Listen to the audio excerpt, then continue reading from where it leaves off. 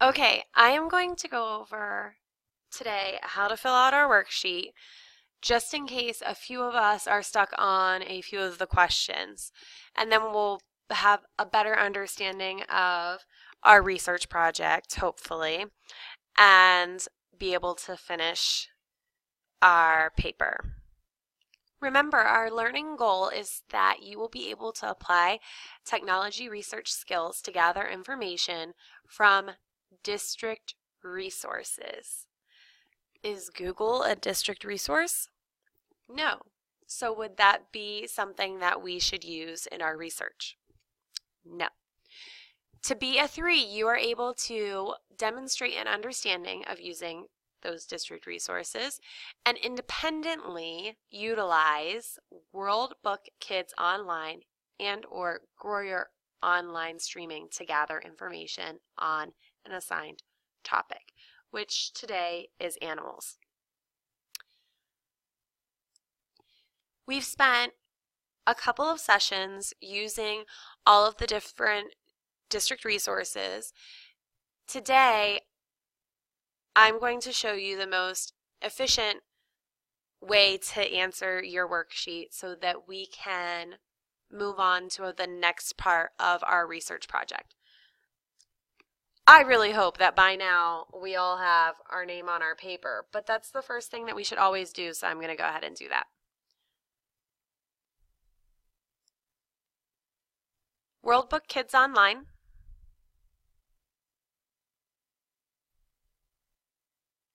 I click on the balloon for kids.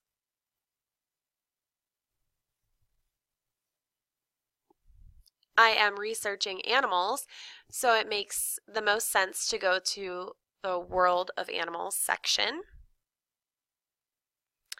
And I'm going to pick which type of animal I want to research. Let's pick water mammals. I just clicked on mammal, so I can circle the group mammal. And I'm going to do a hippopotamus because that is just fun. I need to write down the name of my animal if I have not yet chosen one. So hippopotamus, it's a mammal. Now here's a question that I need to use my prior knowledge from class in. How do I know this is a mammal? Well, yes, I just clicked on mammals on the website, but that's not what I want as a response here. We learned about animal classification in class. Mammals, what do all mammals have in common? They're warm blooded, they have live babies, they drink their mother's milk, they have fur. I can write any of those things down as how I know this is a mammal. If I would have chosen a fish, all fish live in water, they breathe with their gills, they lay eggs. I can write all of those things down for how I know this is a fish. If they're a reptile, I know that they are cold blooded. If they're a bird, I know that they have feathers. If they're an amphibian, they can live on land or water. Those are the types of answers that I want. So I'm going to put warm-blooded. Whoops.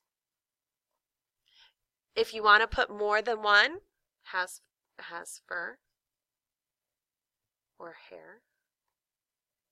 If you know more than one, great, put more than one. Share all the knowledge that you know about animal classification here. This section is for your prior knowledge from what you learned in class. Now I'm going to move on to the next questions. I clicked on my hippopotamus. I can go to the article or I can go to the exhibit. Remember, today is the last day for research. So I'm going to use the most efficient way possible. Click on the article and this literally gives you a list of everything that you need to know for your animal. It says describe your animal. Um, so let me scroll down here.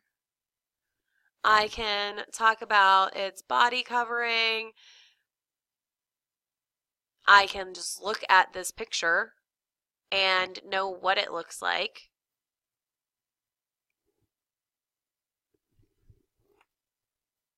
So it's covered with skin.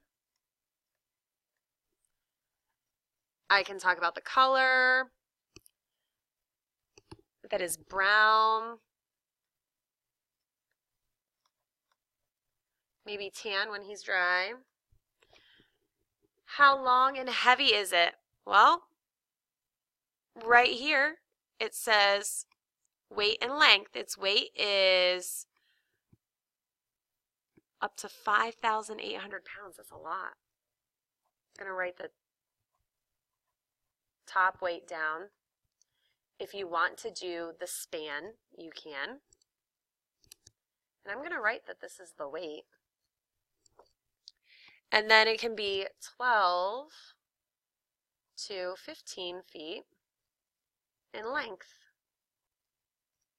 Okay, got that right off of World Book Kids. Awesome. What covers its body? Let's keep on going down here. I just saw that. Body covering. Skin.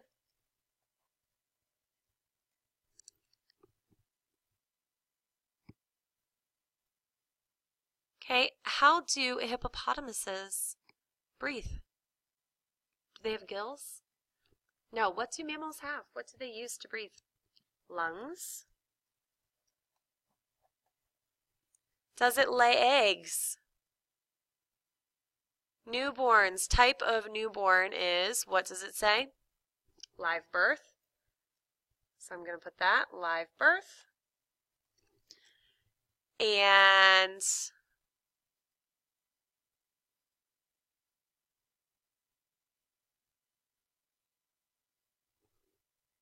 how many babies are born at one time. Let's see.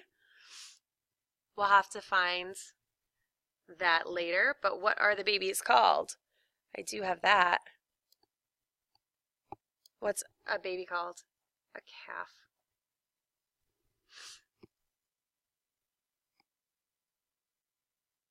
Oh, right here. Number of newborn. I missed it. How many does it have? One. Okay. I easily just finished all of my questions from my research. This is your goal for today to be able to finish so we are ready to move on to the next steps in our project.